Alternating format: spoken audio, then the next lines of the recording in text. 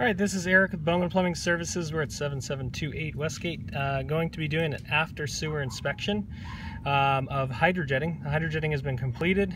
We're located currently with the camera 54 feet in, which is at the city sewer connection. I'm going to slowly pull back so we can visually inspect the condition of the pipe.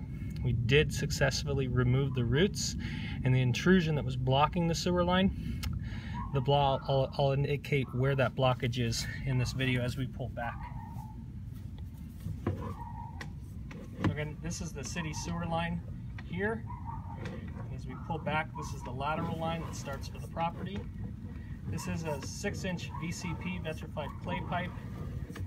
You can see there, that is a joint. Again, we're gonna pull back into towards the clean out towards the house right now. This section of pipe is clear and was clear of roots. There were no intrusions at the time of the in inspection and or hydrojetting. As we pull back towards the property, I'll indicate where the uh, root intrusions were located and how they entered in the pipe.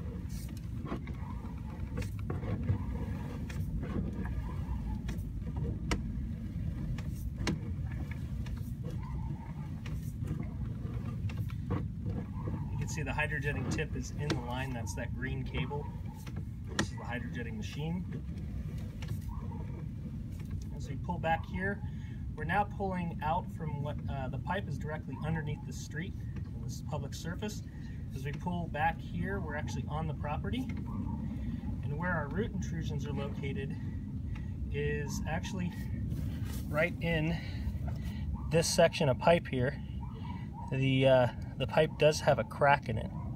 There's a physical crack right here, and that's because the roots were intruding through this section of pipe, forcing the pipe to separate.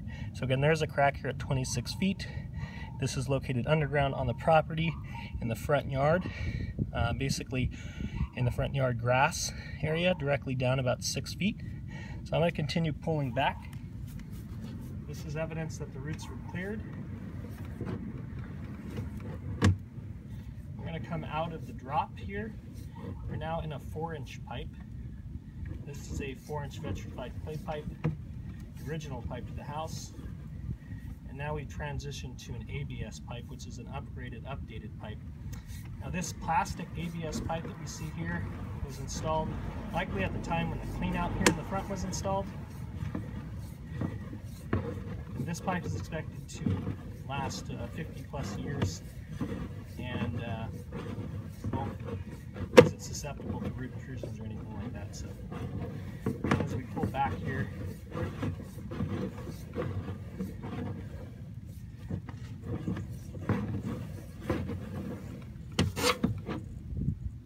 okay, this is going to end recording session.